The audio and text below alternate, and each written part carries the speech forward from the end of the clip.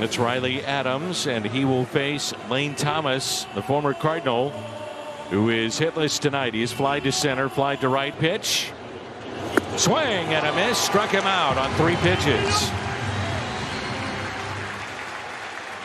Harvey in the bullpen for the Nats. A pretty good sequence right there. Breaking ball, fast counts.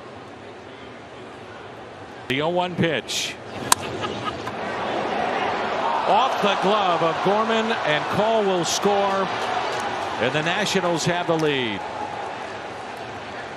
At a min, a,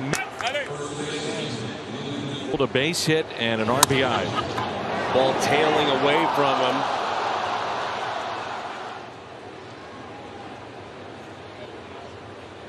See, just hits right off the thumb of the glove.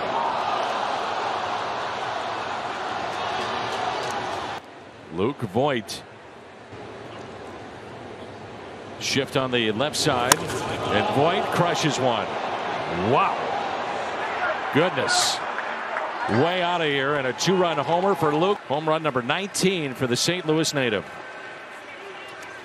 You got to be careful on that one.